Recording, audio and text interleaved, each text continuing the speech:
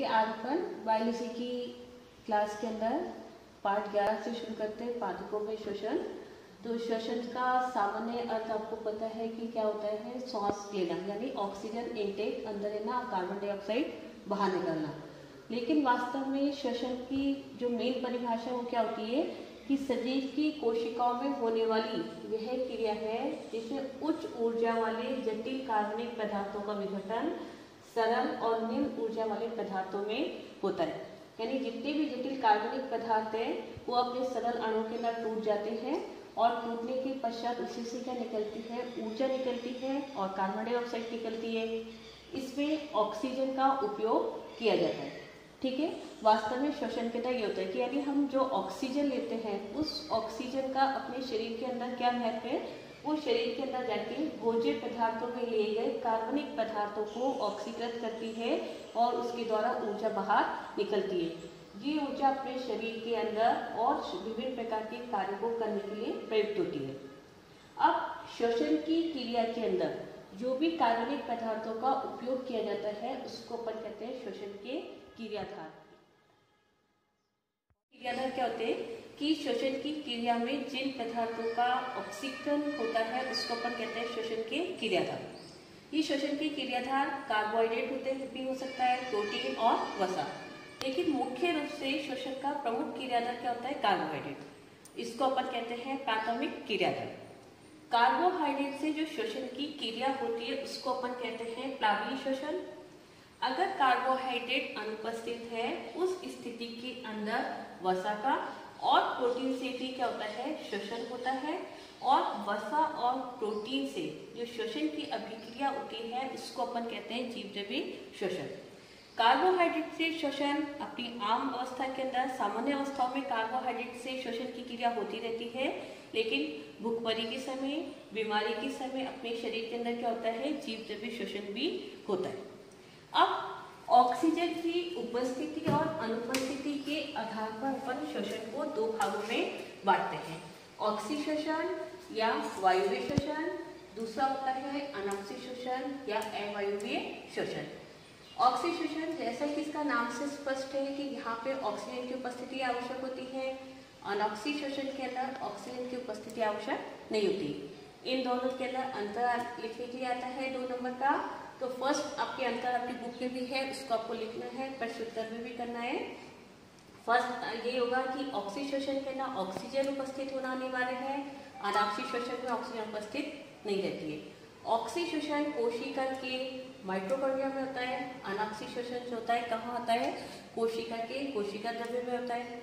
Oxy ऑक्सीशोषण में पूर्ण ऑक्सीकरण होता है, जिसके फलस्वरूप कार्बन डाइऑक्साइड जल और ऊर्जा की उत्पत्ति होती अनॉक्सी श्वसन के अंदर अपूर्ण ऑक्सीकरण होता है, जिसके फलस्वरूप एल्कोहल लैक्टिक अम्ल बनता है और ऊर्जा की कम मात्रा में उत्पत्ति होती है।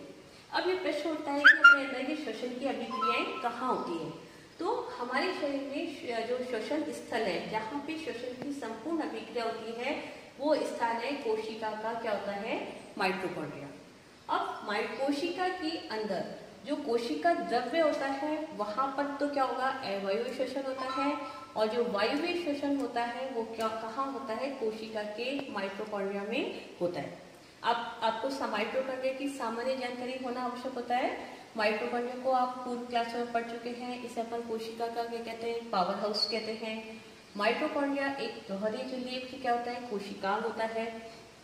इसकी भारी झिल्ली होती है। और अंदर वाली झिल्ली की विशेषता होती है कि इसके अंदर इस तरह अंगुली नुमा उभार होते हैं, जिसको अपन क्या कहते हैं क्रिस्टी कहते हैं। अब क्रिस्टी के ऊपर छोटे छोटे से कण लगे रहते हैं, जिसे अपन कहते हैं ऑक्सीसोम लगे रहते हैं। वहाँ पर क्या होता है, कोशिकाओं को, भोज्य पदार्थों का ऑक्सीकरण होकर ऊर्जा निकलती है और ऊर्जा संचित की जाती है। माइट्रोकॉन्ड्रिया में जो ऊर्जा संचित की जाती है, वो ऊर्जा एटीपी के रूप के अंदर संग्रहित की जाती है। ठीक है? अब इसके बाद का नेक्स्ट टॉपिक आता है ऑक्सी श्वसन की क्रियाविधि। ऑक्सी श्वसन की क्रियाविधि के अंदर मुख्य श्वसन आधार अपन किसको लेते हैं? कार्बोहाइड्रेट यानी ग्लूकोज का। इस क्रिया के अंदर ग्लूकोज का एक अणु क्या करता है? पायोरिक अम्ल के दो अणु के अंदर परिवर्तित हो जाता है। ये क्रिया क्या कहलाती है? ग्लाइकोलिसिस कहलाती है। अब इसके पश्चात जो पायरुविक अम्ल बनता है वो कोशिकाओं के माइट्रोकॉन्ड्रिया के अंदर जाता है, वहाँ पे जाने के बाद इसका पूर्ण ऑक्सीकरण होता है, जिसके फलस्वरूप कार्बन डाइऑक्साइड जल और ऊर्जा की उत्पत्ति होती है। इसको अपन आगे विस्तार से पढ़ेंगे। नेक्स्ट अपन इसके अंदर क्या करे थे? ग्लूकोज का फास्फोरिलीकरण जो अपन ने पहले वाली वीडियो में देखा था, कि ग्लूकोज का एक अणु किससे परिवर्तित हो गया था ग्लूकोज सिक्स फास्फेट के अंदर परिवर्तित हो गया था और glucose six phosphate fructose six phosphate में और fructose six phosphate fructose one six di phosphate में कन्वर्ट हो गया था। ये अपन ने कब देखा था? इससे पहले वाले वीडियो में देखा था। अब उसके बाद उसका अगला स्टेप आता है कि जो ग्लूकोज फास्फोरिलीकरण हो गया है, उस ग्लूकोज के अणु का क्या होता है? फास्फोरिलीकरण के बाद की प्रक्रिया प्रारंभ हो जाती है। इसमें जो ग्लूकोज वन सिक्स डाइफास्फेट था ग्लूकोज नहीं यहाँ पे आएगा तो इसमें fructose fructose one six diphosphate aldolase enzymes की उपस्थिति के अंदर तीन पदार्थों के दो पदार्थों में परिवर्तित हो जाता है, जो कि दोनों तीन कार्बन वाले यौगिक होते हैं। एक होता है C P G L P G L का पूरा नाम होता है वासोग्लिसरेडिहाइड और दूसरा इसके अंदर बनने वाला पदार्थ होता है डाईहाइड्रोक्सी एसीटोन फास्फेट ठीक है? ये दोनों को ट्रायल इसलिए कहते हैं? दोनों यौगिक क्या होते हैं? तीन कार्बन तीन कार्बन यौगिक होते हैं और इनमें से केवल जो पीजीएल होता है, उसका ऑक्सीकरण होता है। जब पीजीएल का ऑक्सीकरण होता है तो पीजीएल के दो अणु ऑक्सीकृत होकर किसका निर्माण करते हैं? पायरुविक अम्ल के दो अणु का निर्माण करते हैं। जैसे कि आपको कैसे अपन ने पहले बताया था कि ग्लाइकोलिसिस का अंतिम उत्पाद क्या बनता है? पायरुविक अम्ल अगर आप चाहते हो तो यहाँ पर ये वाली क्रिया यहाँ पे एंड कर सकते हो। लेकिन अगली बार अगर आपको विस्तृत क्वेश्चन आता है निबंधात्मक, तब आपको लिखना पड़ेगा कि तीन पीजीएल के अणु से पायरुविक अम्ल का निर्माण किस प्रकार होता है। तो ये क्रियाएँ थोड़ी याद करने वाली हैं, इसलिए इसको स्टेप बाय स्टेप आपको क्या करना पड़ेगा? याद करना पड़ेगा। कि अब इसमें क्या होता है जो तीन पीजीएल होते हैं। और फास्फोरिक अम्ल के साथ मिलकर डीहाइड्रोजनेस एंजाइम्स की उपस्थिति में किससे बदल जाता है? वन थ्री डाई पीजीएल के दो अणुओं का निर्माण करता है। आपको मैं पूर्व बता चुकी हूँ, यहाँ पे ये अभिक्रिया किसकी उपस्थिति में होती है? एंजाइम्स की उपस्थिति में। अगर आपको एंजाइम्स का नाम याद होता है तो बेटर है। इन केस आप भूल जाते हो तो आपको खाली नहीं छोड़ना, इसके ऊपर आपको क्या लिख देना है? एंजाइम्स ठीक है? अब यहाँ पे अपने क्या बन गया? वन थ्री डाई पीजीएल के दो अणु का निर्माण हो गया। अगली अभिक्रिया किस पर होगी? इन दोनों अणुओं पर होगी। अब वन थ्री डाई पीजीएल के दोनों डीहाइड्रोजनेस एंजाइम्स की उपस्थिति में किसमें बदल जाते हैं? वन थ्री डाई फास्फोग्लिसरिक अम्ल में परिवर्तित हो जाते हैं। और इसके साथ साथ इनका अपचयन होने से दो अणु NaDH2 का निर्माण होता है। नेक्स्ट अभिक्रिया में वन थ्री डाई फास्फोग्लिसिक अम्ल, जिसको इन शॉर्ट अपन लिखते हैं पीजीए फास्फोग्लिसिक अम्ल। दो अणु एटीपी के साथ मिलकर किसका निर्माण करते हैं इसमें? तीन पीजीए यानी केवल थ्री फास्फोग्लिसिक अम्ल इसमें से? एक फास्फेट हट जाता है और अकेला क्या रह जाता है? थ्री फास्फोग्लिसिक अम्ल और प्लस दो अणु किसका निर्माण करते हैं? एटीपी का निर्माण करते हैं। अब ये जो अपने तीन पीजीए के अणु बने, ये अपना उत्पाद है। अब इसके ऊपर वापस अभिक्रिया होती है। किस एंजाइम्स की उपस्थिति में? फास्फोग्लिसोफ्यूटेस एंजाइम्स की उपस्थिति में अभिक्रिया होती है। तो क्या बनता है? 2PGA बनता है अब इसके अंदर जो एक 2PG होता है इस अभिक्रिया होती है इनोलेस एंजाइम्स की उपस्थिति में इसमें से जल के अणु निकल जाते हैं और किसका निर्माण होता है? टू फास्फो इनोल पायरुविक अम्ल का निर्माण होता है। अब ये जो पायरुविक अम्ल बन गया फास्फो इनोल पायरुविक अम्ल बन गया।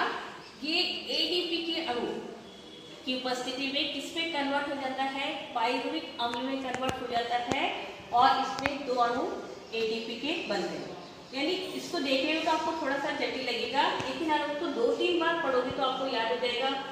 इसके अंदर याद करने का सबसे अच्छा तरीका है, जो उत्पाद बनता है, वो अगली अभिक्रिया में क्या बन जाता है, उसका क्रियाकारक बन जाता है। और प्रत्येक अभिक्रिया किसकी उपस्थिति में होती है? एंजाइम्स की उपस्थिति में होती है। तो इस प्रकार अपन ने देखा ग्लाइकोलिसिस की पूरी अभिक्रिया में एक ग्लूकोज का अणु का क्या होता है? दो पायरुविक अम्ल के अणु के अंदर इसका क्या बन जाता है? रूपांतरण हो जाता है और इसके फलस्वरूप इससे कुल चार अणु किसका निर्माण होता है? एटीपी का निर्माण होता है।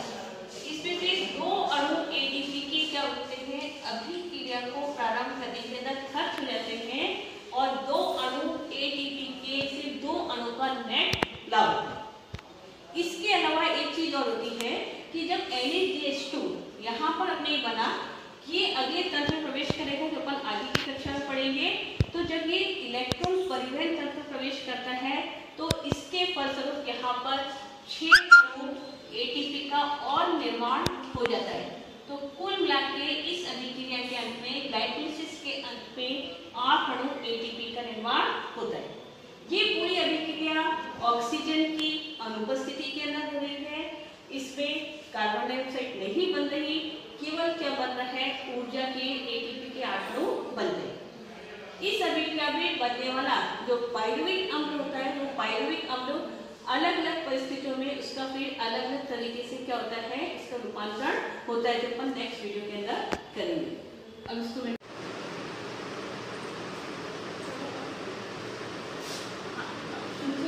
हाँ तो स्टूडेंट अपन ने पढ़ा था ग्लूकोज का एवायु में ऑक्सीकरण ग्लूकोज के एवायु में ऑक्सीकरण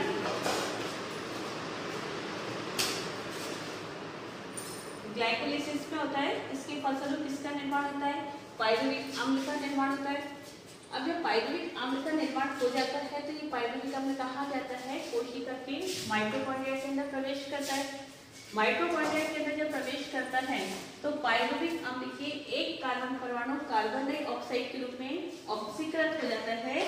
इस क्रिया को अपन कहते हैं ऑक्सीकरी विकार्बोक्सीलीकरण की अभिक्रिया कहते हैं।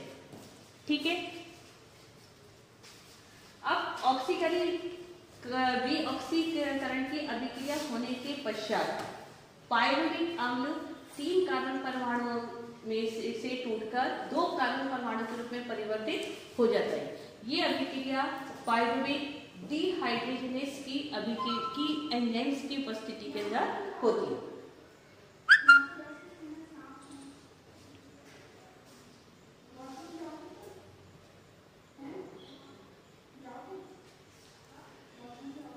अब ये दो कार्बन वाला पायरुविक डिहाइड्रोजनेस को एनएच ए के मिलकर किसका निर्माण करता है? एसिटाइल को एनएच का निर्माण करता है। एसिटाइल को एनएच का बना, यहाँ पर बहुत महत्वपूर्ण अभिक्रिया है, क्योंकि इसको अपन कहते हैं? योजक क्रिया कहते हैं। जब तक एसिटाइल को एनएच का निर्माण नहीं होगा, ये माइटोकॉन्ड्रिया के आधाती के अंदर प्रवेश नहीं कर पाएगा, यानी इसका पूर्ण ऑक्सीकरण अब संभव नहीं है। कब तक संभव नहीं है?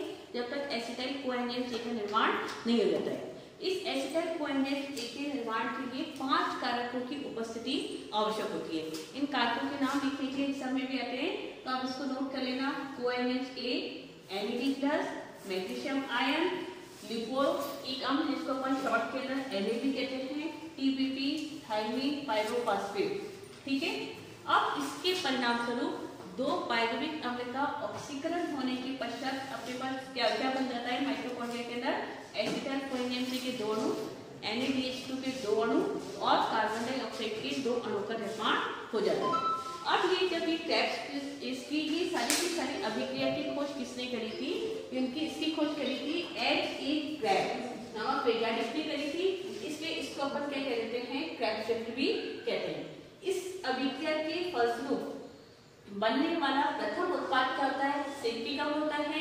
इसलिए इस चक्र को अपन सिंटिकम चक्र भी कहते हैं। और इसके अंदर जो जो होता है, वो ट्रीकार्बोक्सिलिक उसके अंदर तीन कार्बोक्सिलिक समूह पाए जाते हैं। इसलिए इसको अपन क्या कह देते हैं? ट्रीकार्बोक्सिलिक चक्र भी कहते हैं। तो आपके एग्ज़ाम के अंदर आपका अगर ये केवल चक्र के बारे में बताइए, या चक्र के बारे में बताइए, या के बारे में बताइए तो अपन इसको तीनों को अपन एक ही नाम के साथ जानते हैं। और इसके पश्चात बनने वाली सारी विषय होते हैं बहुत ज़्यादा डिटेल होती है और थोड़ी सी मुश्किल है तो आप लोग अपनी अपनी किताब अपनी। अपनी बुक को एक बार देख खोल कर देखना। सबसे पहले अपनी अपनी क्या होती है इसके अंदर? सिट्रिक अम्ल का निर्माण। एसिड है कोएंजाइम ए अब माइक्रोकॉन्टर में उपस्थित ऑक्सिलो एसिटिक अम्ल के साथ मिलकर किसका निर्माण करता है? सिट्रिक अम्ल का निर्माण करता है और कोएंजाइम से इसमें से बाहर निकल जाता है। आपको पूर्व में बताया ये सारी अभिक्रिया एंजाइम्स की उपस्थिति के अंदर होती हैं। इसलिए अगर नाम याद हो तो बढ़िया, नहीं तो आप उसके अंदर क्या लिख देना? एंजाइम अब ये जो सिट्रिक अम्ल बना, अब आगे इस सिट्रिक अम्ल से किसका निर्माण होगा? आइसोसिट्रिक अम्ल का निर्माण होगा। तो सिट्रिक अम्ल सबसे पहले एकोनिटेस एंजाइम्स की उपस्थिति में किसका निर्माण करता है? सिस एकोनेटिक अम्ल का निर्माण करता है और सिस एकोनेटिक अम्ल से आगे चल के आइसोसिट्रिक अम्ल का निर्माण होता है। इससे आने वाली अभिक्रिया अपन नेक्स्ट वीडियो में देखेंगे। ग्लूकोज का फास्फोरिलीकरण इसमें ग्लूकोज का एक अणु एटीपी के एक अणु के साथ जुड़कर इसमें बदल जाता है? ग्लूकोज सिक्स फॉस्फेट में बदलता है अब प्रत्येक अभिक्रिया किसकी उपस्थिति में होती है? एंजाइम्स की उपस्थिति में होती है। हर अभिक्रिया में एंजाइम्स के नाम अलग अलग होते हैं। यदि आपको याद हो सकता है तो आप नाम याद कर ले, नहीं तो उसके ऊपर सीधे लिख दें एंजाइम्स जैसे ये अभिक्रिया कौन से एंजाइम्स की होगी हेक्सोकाइनेस एंजाइम और मैग्नीशियम आयन की उपस्थिति में ग्लूकोज के का निर्माण होता है glucose six phosphate.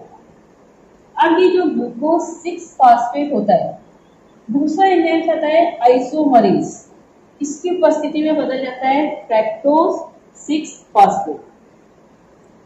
Fructose six phosphate वापस एटीपी के अणु के साथ मिलकर फास्फोफ्रेक्टोकाइनेज एंजाइम्स और मैग्नीशियम आयन की उपस्थिति में बदलता है फ्रैक्टोज वन सिक्स डाइफॉस्फेट तो ये तीनों अभिक्रिया मिलाकर क्या कहलाती है? ग्लूकोज का फास्फोरिलीकरण कहलाती है।